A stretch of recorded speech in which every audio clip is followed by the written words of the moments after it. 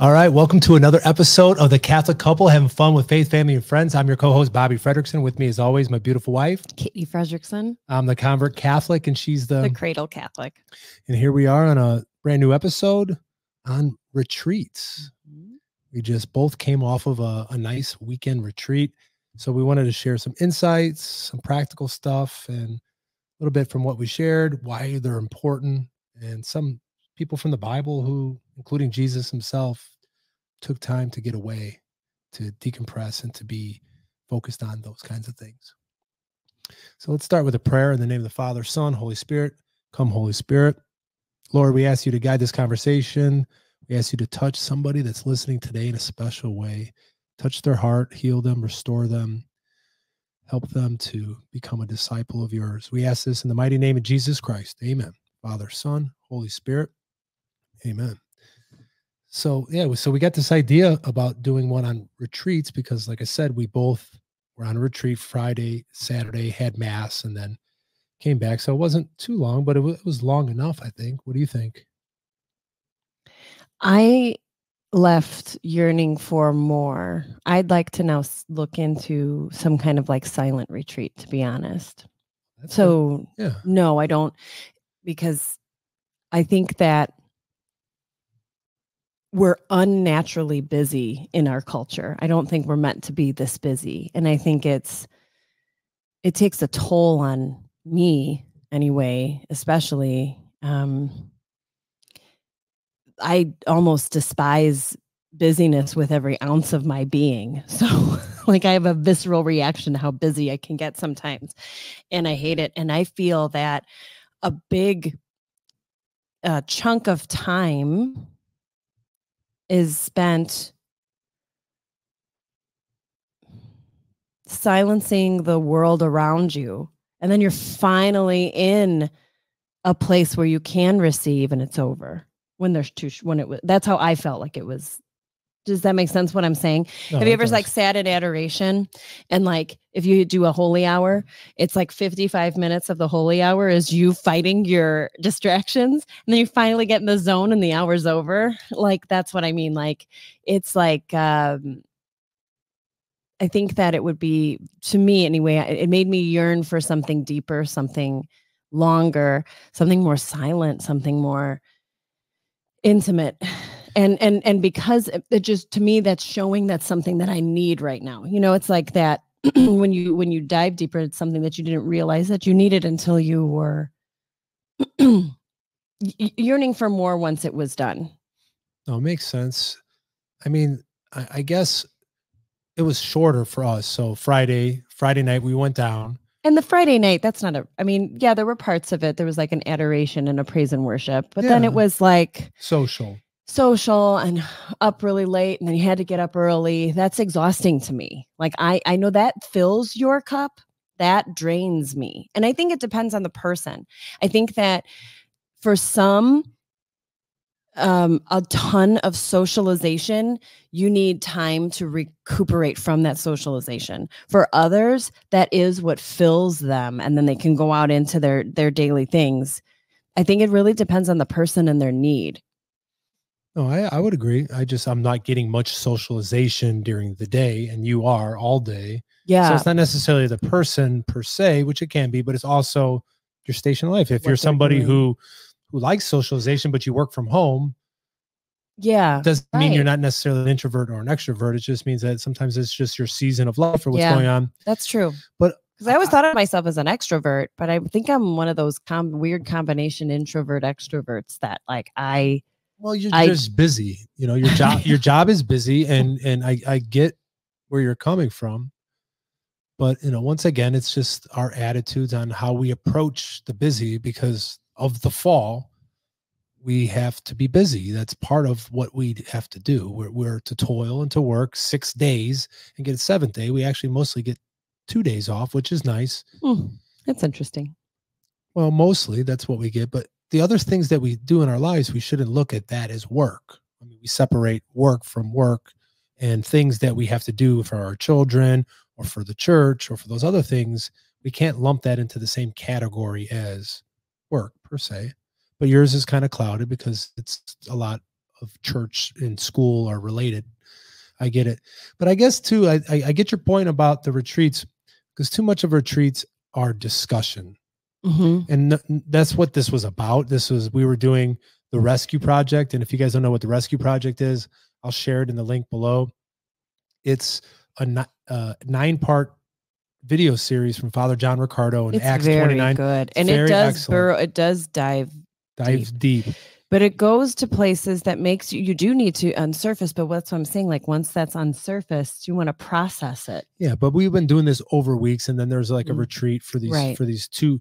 So it's two videos and then discussion. Mm-hmm. But I, I guess an ideal retreat for me would be, like you said, like a silent retreat Mhm. where it's all prayer, all silence, all Let's think about that word retreat.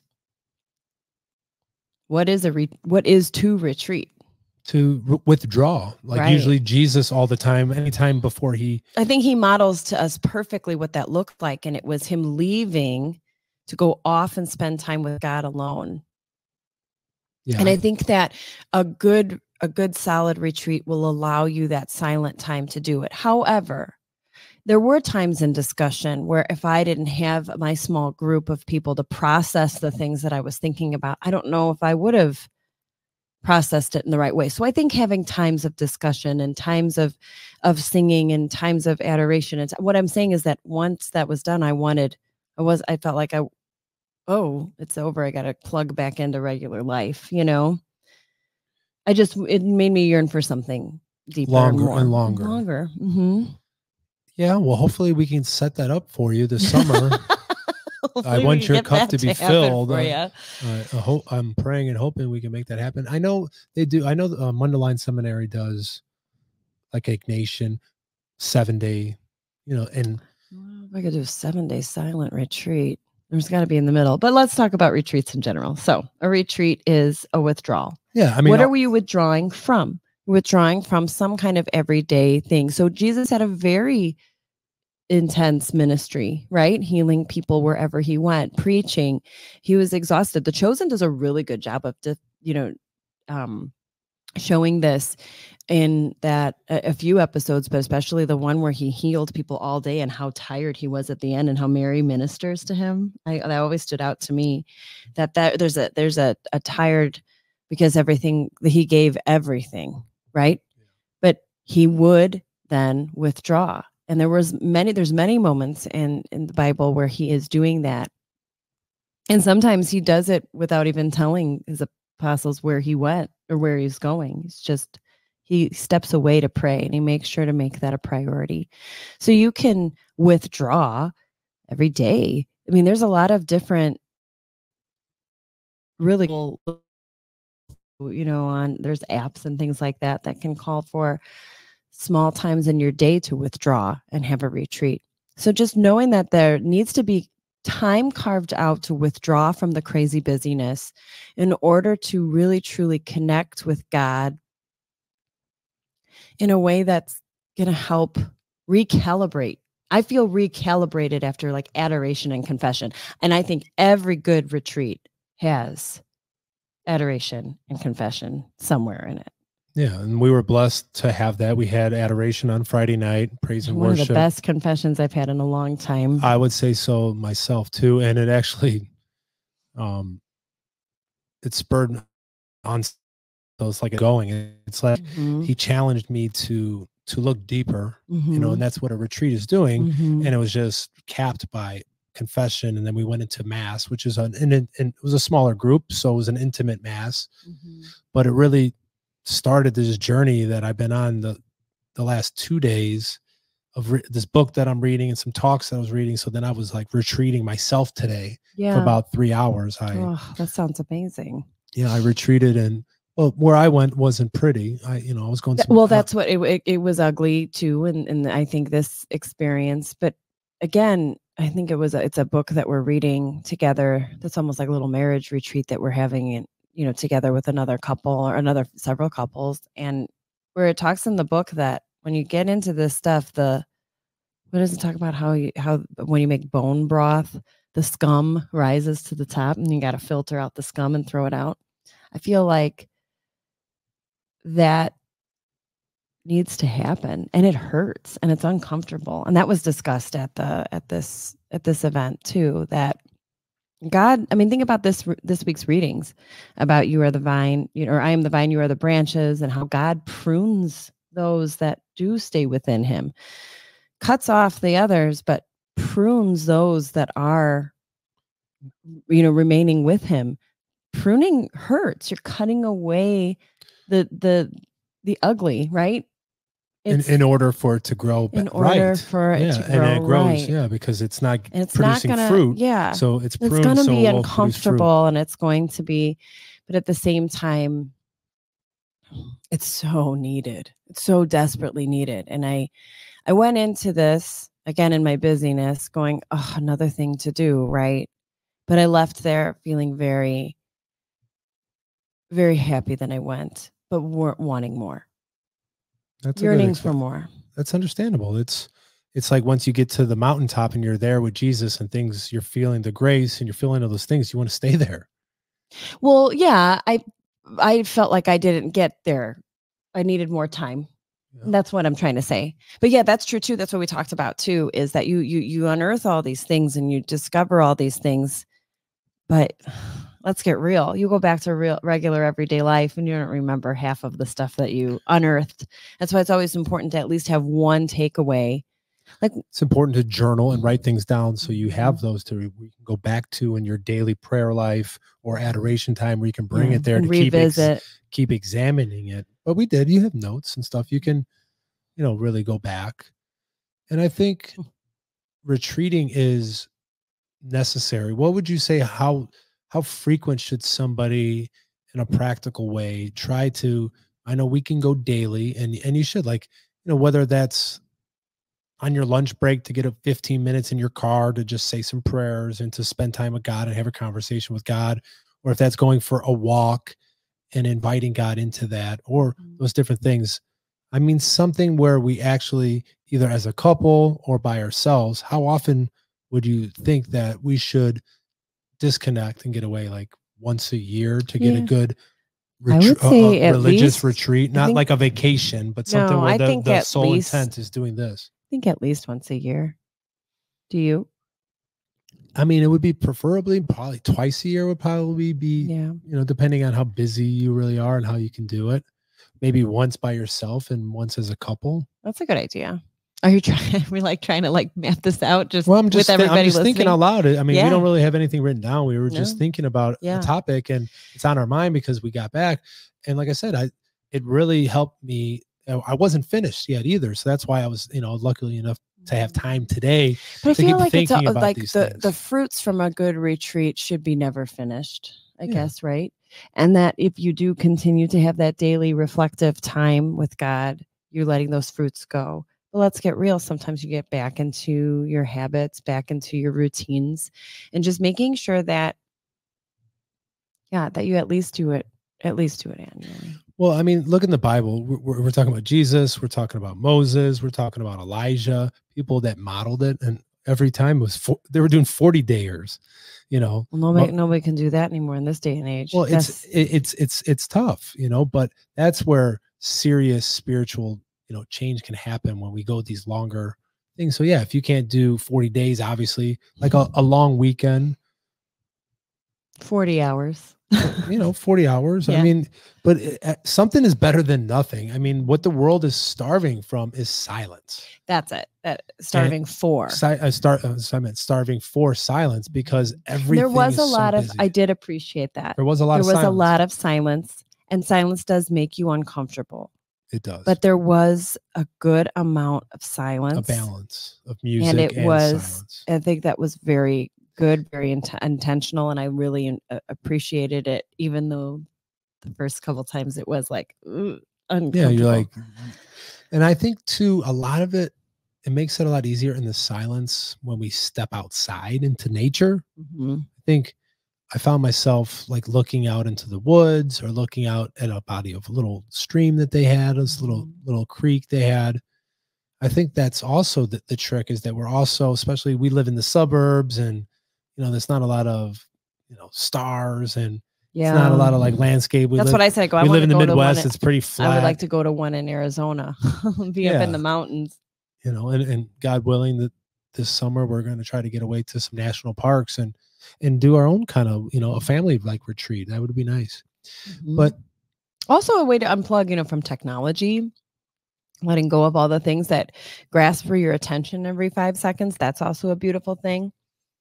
yeah, for Literally me, unplugging. I mean, we still had our phones with us, but we were asked several times to not look at them.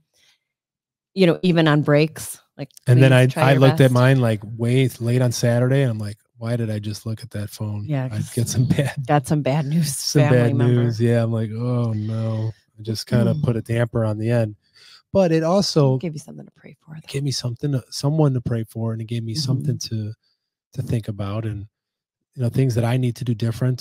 To reach out to certain people in our lives. You know, if you go on a retreat and you don't come back with something like a good takeaway, Mhm, then something wasn't right. Mhm. You know, so much of we make so many decisions in our daily lives without asking God, what should I do this or not? Mhm. like all throughout scripture as i'm doing the bible in a year again it's like anytime anyone's doing anything it's like if they don't ask god should i do this like they get into trouble and like they're they're using their own wisdom and their own judgment and it usually ends up bad Yeah. but every time david before he did something is like god should i do this? Like yeah go do it. He's like all right boom. That they win a, a rousing battle. If he doesn't it's like oh no. You know and, and in so much of our Mhm. lives we don't take time to have a conversation with god and ask him. And i was just listening to a talk and the guy was talking about this and he was like yeah but you can't ask god like crazy questions like oh should i go do a new like you got to start simple having these conversations like should i do this or should i not do this and sit and pray about it and, and wait for god i mean a voice isn't going to come down from the clouds but he's going to speak like elijah when elijah went away to mount horeb he spent that time god came to him in that small still voice Mhm. that's how god talks to us today Mhm. but we have And to again, be in silence Think about how long it takes for us to get there, depending on how Yeah. overly stimulated we are with our things in life. Again, like I said, it took me almost the whole day for my brain to finally filter out all the jar- junk that was trying to get my attention. And then I finally was focused and it was almost over.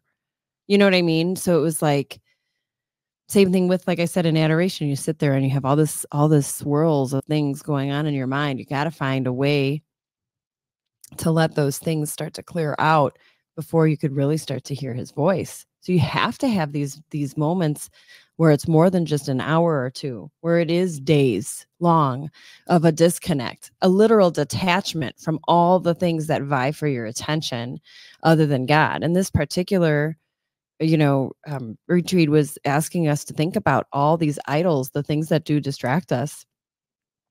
You know you you start to think and you start to go down and it is that is where it is good to have moments of discussion with others because you start to see different perspectives and start to think oh yeah you know me too and in in these areas that i need to work on that i never thought of you know but it doesn't happen right away and for me like embarrassed to say it took me like eight hours before my brain stopped I wouldn't say embarrassed. It's just you have a lot on your plate, and you know, between being a mom and the school and the kids, and you know, when all we're those away, tabs open and, yeah, when we're away from our kids, you're worrying about them and making sure everything's okay, and mm-hmm.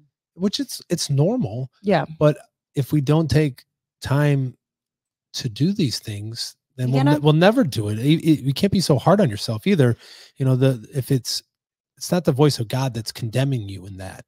And that's the evil one who wants to make it seem like, oh, that's not fruitful. You're too busy. You can't even concentrate and you can't even pray. It's like, no, one minute's enough if you spend time with God. You know, it, but it depends on how you go into it. there's this uh, book by um oh my gosh what's his name the bible geek what's his name Mark Hart. mark hart and it's about adoration it's so good he talks about um at being in adoration for that holy hour and he said the saints are up there going oh my man mark he did four minutes this time like out of his 56 was really distracted but he gave he gave God four whole minutes. Like how, you know, instead of saying, "Oh, I could only pay attention for four minutes," it's like, no, I, you know, I was able to for, you know. And so it's just again the shift of perspective and what God is really wanting is is your heart, and not to beat yourself up over that, and that the evil one's going to be the one that's accusing Gonna and trying to make you feel bad about it, and be the negativity that that speaks into the moment. And I think that God encourages, God's voice, you know, comforts and encourages and helps you to respond positively if you have these negative thoughts. They're not, they might be some things sometimes when God convic- convicts you of like negative things you're doing, but not not in that way. You got to watch Not to it. condemn you. Because after you're done, he may point it out like, hey, dude, Right. like this probably you shouldn't do Like this. Not that you're you. bad or yeah um you know and so you just really again you know it's like you leave a you leave a retreat with uh, Aaliyah Garza we've had her on the show before where she calls it a Jesus high. And so it's just like what what are you to do when your Jesus high wears off? Right? And like finding your one takeaway. But also know that when you leave a retreat your prime like you know meat for the devil for a spiritual attack. And so being ready for that and being uh able to be cognizant of what what is of god and what's what's not and and and trying to not let that get to you right after Yeah, I think we beat ourselves up, but I, I I think that's a good point though about the daily retreat, where you know treat your prayer time like a mini retreat. Mm-hmm. You know, and for me, and that means put putting- your phone away away from you. but it's hard because there's so many good things on it like there's so many apps right now um like the Hallow app is really good and that's what's so difficult is that there are so many things on it but i tell you i feel like there's so many distractions There's just too many. there's just if too I'm going to read, I literally have to move my phone yeah because I'm tempted to read half of a Or- chapter when I get to a break have you and ever quick look at- mindlessly like okay i'm picking up my phone to start prayer like on a Hallow app or something that i'm using some app that i'm using and i literally swipe up and without like it, it's like uh autopilot i just go straight into instagram and i'm scrolling and i'm like about two minutes in and i'm like this isn't what what wait What was I supposed to be doing? what was i doing it's kind of like when you walk into the basement and you're like why am i down here like then you go back and- upstairs. And, then you go back, wow, oh, that's it yeah, that. It's like, oh my gosh, like this is ridiculous. So yeah, I mean, identify but the discon- things that but disconnecting maybe find a retreat time where it's not even where it's not on your phone yeah, like reading scripture or just being quiet or or, or on a book, on a not book. in an app. yeah because but you have to almost move your Yeah. phone because that temptation to look at to Yeah. check at it because it beeps it rings it you know if you Mhm. got it on your phone then your watch is going yeah, I don't have a watch Well. on purpose. I don't need any more things vying for my attention on purpose. but it the fruit that comes from silence i think is one thing i wanted to leave everybody with is that uh, soren kierkegaard he says that if everybody spent time in silence we'd solve all the problems of the world that that's Mm. what the world is so longing for right now is this solitude the the silence it says in in psalm 40 i believe it's be still and know that i am god so the the first part is obviously be still. You have to sit still. Mhm. and reading is one of those things where you have to sit still. You can't be looking at a phone and reading a book. You have to keep going back rereading the paragraphs. Yeah. and that's why a lot of people don't read because you have to sit still and you have to be quiet. Like you can watch a movie and scroll and do five things at once or you can listen to a podcast and drive your car or watch listen to this and do other Right. things. But when you're reading a book you have to just read the book. Yeah, but I've done that too, where I'm reading the book and I'm like thinking about other things, and then you have to go back and to go reread back it and reread but like a paragraph. podcast you just keep going if you're That's watching a video you just keep going Yeah. you know but when i really got into reading it was partly because i really wanted to be still needed to And quiet. i needed to learn how to mind. sit still because Mhm. i'm such a busybody in my mi- busy mind but we have to train ourselves Mhm. and that's what a retreat is doing Mhm. it's literally forcing you to do these things because it, it feels uncomfortable at first the Mm-hmm. Yeah. silence at first feels uncomfortable And isn't this terrible? I just want to like sometimes they'll say, "Well, oh, not gonna be able to get a hold of me. I'm going on a silent retreat." like it's kind of like leave me alone. Without saying leave me alone. But in a way you know what i mean? Like where there is every you know you know like you're making it a point you're taking an action you're going somewhere different you're disconnecting and that's part of the process versus if you're at your house people are like why aren't you answering? Where are you? It's it's just you know you don't have anything going on. You know what i mean? Well i'm just trying to stay away off my phone. No this is like a purpose intentionality behind yeah. it where you are physically like making it known and you're physically doing something with that intentionality. So i think that well i think, I think it i think even though it will be difficult i've never been on a silent retreat. Have you ever done anything like that? We went uh we did a retreat when i was in the lay leadership program. But was it silent? It was pretty silent for like the first day. Okay. Yeah. Tough for me. I'm a talker. Mm-hmm but I think our Jewish brothers and sisters have it together. They do Shabbat and they do, you know, it's the Sabbath. They do no technology, no working, and they're oh praying gosh, and they're spending time. They're spending time with. What was it that I was asking him to do yesterday? Uh, put the dishes in the dishwasher, maybe, or I don't know something. He's seven. And then I asked him to wipe down something, and he's like, "Mom, I know my commandments, and this is work." And it's the Sabbath. I'm like, oh my gosh.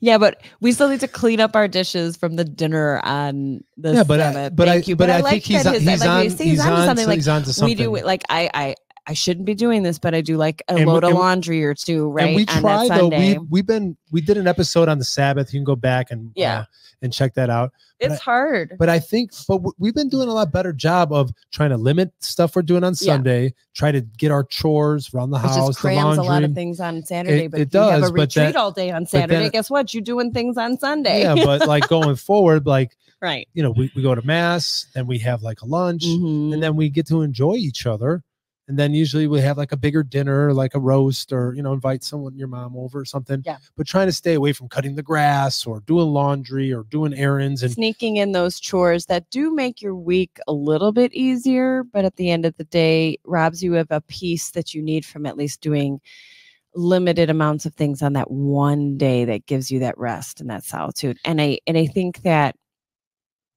again big retreats big intentionality retreats where you let everybody know where you're going and what you're doing and that leave me alone like going off and silent retreats that's great and that is something that we should try to do annually at least but i think that we also have these opportunities daily and weekly to do just what a retreat is yeah. meant to do which is meant to withdraw unplug restore allow god to restore restore us. I think this is Saint Therese. She says, "Oh no, sorry. It's this is Saint Ignatius of Loyola who says, "Take, Lord, and receive all my liberty, my memory, my understanding, my entire will, and all I have and call my own. You have given it all to me. To you, Lord, I return it. Everything is yours, and do with it what you will." Give me only your love and your grace, and that is enough for me. It's it is a surrender, it is a withdrawal, but it's also it's also a well what if, if someone retreats in war they have essentially give it's not a surrender. Is it a surrender if you retreat? If you're if your army not retreats no retreat you're you're you're retreating you're going the other surrender way. means you give up and they they take you they retreat take you. means that you're falling back to you're regroup. Falling you're falling back, to regroup. to regroup. Yes. And Saint Ignatius was a soldier. Right. So that's, you know, he got injured, he got hit with a cannonball. But so that's in his, a retreat, you he, can surrender. You're essentially not fighting, right? You're you're regrouping to be healed. Oh, what yeah, happens? It's it's what happens when surrender to the so if enemy, you're if you're yeah, it's not right. You're you're you're surrendering to you're surrendering to the right side, right? But at the same time, think about what would happen in in a retreat in that sense on the battlefield you take care of all the wounds. You you restore your energy you restore your maybe maybe your soldiers haven't eaten. Maybe they need mending of their uniforms mending of their wounds. Maybe they need rest. Maybe they need to actually sleep. Like think of all these things this restoration that happens during that retreat that that time. So you can't find out what you need unless you process what's going on around you. You take a step back and you allow God to point out the areas that you may need restoration and healing and some stitch ups, right? And some nourishment that you might in your busyness not notice at all that you needed. Yeah, there's and I think so much of it we, we miss. We miss so much. And so it's so important for you to take a an inventory of these things on a daily basis, on a monthly basis, but then annually yes. hardcore do that yeah. to see where where God show me the places in my life that I need to be restored, healed? What are old practices I've forgotten about that used to bring me closer to you? What are new things you want to bring into my life? What is something that I, you know, completely am blind to? And show it to me and help me work through that. And, you know, one of the uh, people in my group was talking about she had an encounter with God all these years ago. And all she's done ever since is chase that chase that high because I get just chase that Jesus high, right? Like that that was the only way she could encounter God, you know? And he just burst through that at this retreat, right? And, and spoke to her in a different way. And I think that we do sometimes have these big moments of encounter with God and then we chase them and think sometimes when we go into a yeah. retreat oh i'm oh good there's adoration because i know what happens in adoration he does this and i feel this and then i do you know like we get these expectations too yeah and that needs to be well i something think, but i think that's which, that's a good analogy that you're saying like on a retreat we're stepping back right. versus chasing you're going towards god yeah and when we chase him we're not going to get him you, because god right. isn't uh, a retreat means like I need to step off and I need him, I need the I need the physician to tell me what I need well it could be a physician it, it, could be my my my general right it could be uh, it's not about me and what I'm yeah, but most chasing. of most of it is a we need a we need his heart we need new hearts most of it all has to do with our hearts mm-hmm. you know we're a piece of our heart God has if we don't let him fill it back you know we have to keep doing that yeah because of the hurts of the world and mm-hmm. our disappointments and you know our past traumas and all these different things that's what mm-hmm. a retreat for me was was trying to be restored to be rescued again because you can have those mountaintop experiences but you have to keep having them mm-hmm. but if we're going into it just like if we go into mass and we're going into it for the feeling that i'm going to get from god or this super high mm-hmm. about this feeling right. feeling the feelings is that you know sometimes you know they said in the and the retreat is like try hard less try less no hard. try less hard try like less that. hard like, it's like we got to stop trying mm-hmm. a guy that was in our, our, group he he wasn't look he didn't anticipate this god moment where he was in rome and the, the pope started giving his address and just he started talking all of a sudden he just like was overwhelmed with emotion but it wasn't like he went into it like i, I want to feel this it's like no it's like we had to kind of just mm. let your mm. guard down. Don't expect God's going to work in his weird ways. Let go of your expectations when yeah. you let go of you expect to let go of everything, including your own but, expectations. But don't chase the feeling, chase yeah. God Himself. Yeah, because oh, a I lot like because the, a lot of times we're chasing feelings, whether that's in our mm-hmm. marriage. Like I don't mm-hmm. feel the same way when we first got married. Mm-hmm. Therefore, our marriage is on the rocks, or we're chasing you know, at mass. Well, I'm not getting anything out of it because the homily was junk and the music, I was distracted. Well, mm-hmm. those are some of the best masses because you're going not for what you're getting out of it, but you're there for God. Well, that was one of the things I wrote down in my notes from Father Riccardo's, I think it was the second video.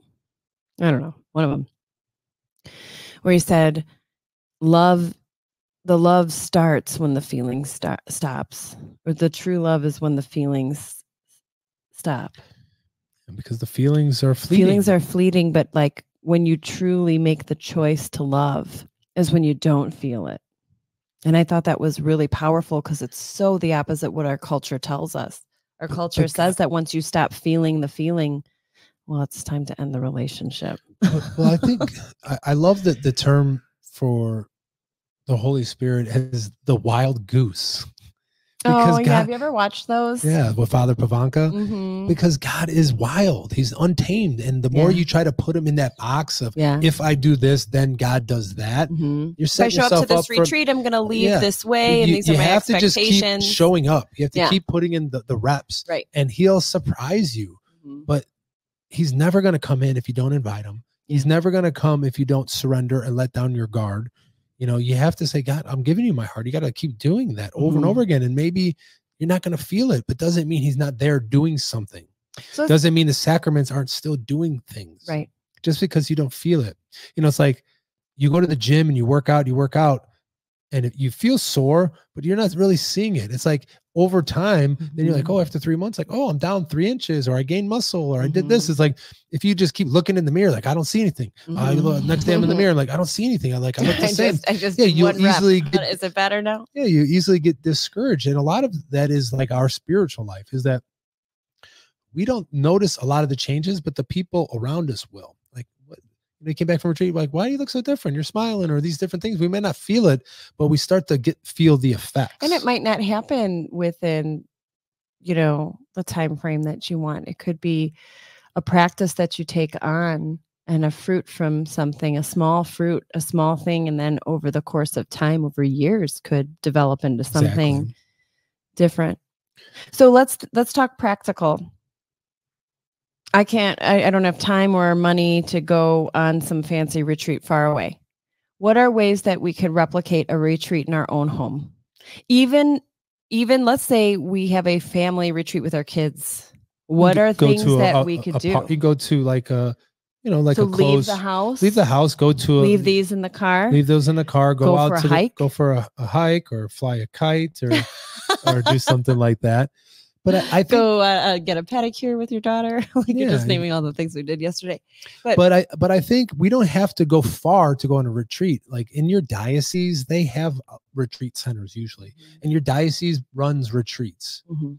Or your church sometimes does them. A lot of times you don't have to go too fancy; you just have to put yourself in. in but usually your diocese will run a couple a year. Mhm. And they usually have some for couples. They usually have one for each other. Right. So look look into your parish website or their social media. That's But- an easier way because it's close and it's local. You don't got to travel far and they're new not a lot of money. They're usually 25 30 dollars or something and then food or whatever. Yeah. But that's a But good honestly, like But you can do your you own. You can do your own. You can do your own daily by doing, you know, a reflection, silent time and prayer time. You can go, like you said, for a walk. You know, carving out just time to be silent and Just connect spending with time, God. yeah, Just think about what it is and have intentionality behind doing that. How about that? So, what is a retreat? A retreat, a retreat is a withdrawal. A withdrawal to be able to be healed, revived, rejuvenated, um, n- nourished. All these different things that happen. or just time to spend with God. well, Even if none of those things happen. What I'm saying with if, if you if you leave with that intentionality and you Yeah. ask God, whatever you want to do to me, do it. It's it's it's I'm retreating, I'm withdrawing, I'm I'm completely taking myself unplugging, even for these five minutes. And I'm just gonna ask you to pour any graces into me that'll help me be who you're calling me to be. So restore me, Lord, rejuvenate me, Lord, take away my ugly, get the scum out. You know, anything that anything that is going to help with a replenishment Yeah. of And yourself. I think we could turn any moment into a mini retreat by just simply asking God to be with us in the moment Mhm. and just having a conversation with God. So much Mhm. of us, we have to do the rosary, we got to read scripture, we got to Yeah. do those things.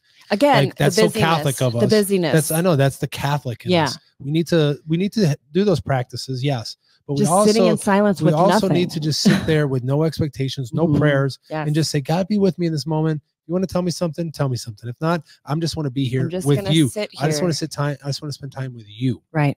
and then shut up and don't say. That's so hard because your mind starts to race. And you think all of a sudden, then you don't. Then you got to say some prayers, and Well, you know, no, not just that. Be like, oh yeah, I'm just Oh, gonna. yeah, no. I, mm-hmm. my brain will go, oh, I'm just sitting here being quiet, being quiet for you.